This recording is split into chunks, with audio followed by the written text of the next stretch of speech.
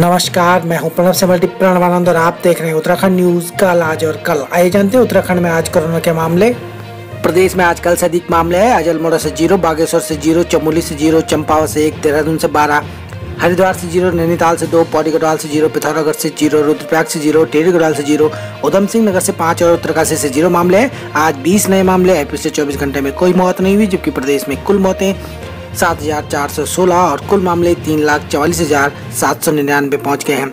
पिछले 24 घंटे में 35 लोग स्वस्थ हुए, जबकि अब तक कुल तीन लाख तीस हज़ार नौ सौ तिहत्तर लोग स्वस्थ हो चुके हैं। आज सोलह हज़ार छह सौ उनतीस सैंपल टेस्टिंग के लिए भेजे गए तो कोरोना बुलेटिन में फ़िलहाल इतना ही। जय हिंद, जय उत्तराखंड।